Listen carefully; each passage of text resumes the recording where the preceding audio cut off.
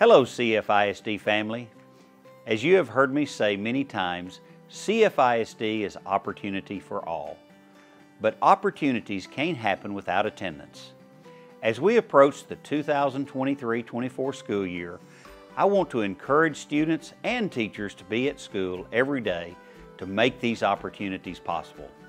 Did you know that chronic absenteeism is classified as missing 10% of the school year? That's as few as two days a month. If a student misses two or more days a month, they are less likely to read on grade level, be successful in middle school, or even graduate. When you miss school, you miss out.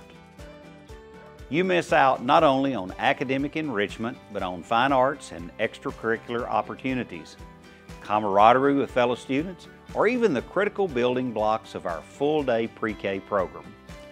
We are proud of our one-to-one -one device program and Schoology, which are supplemental to our robust curriculum, but technology doesn't replace the in-class experience.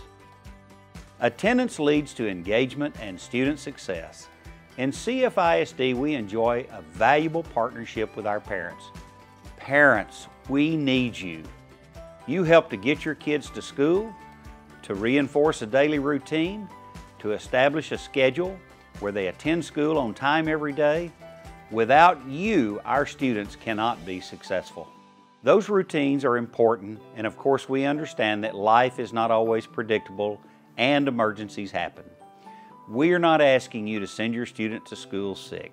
What we are asking is to encourage participation, avoid planning vacations during the school year, Come to school because that's where the opportunity for all occurs.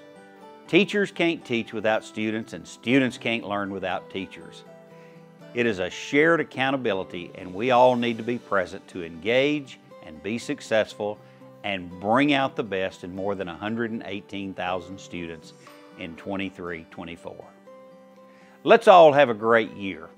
I look forward to seeing you in school and thank you for your continued support of Cypress Fairbanks ISD.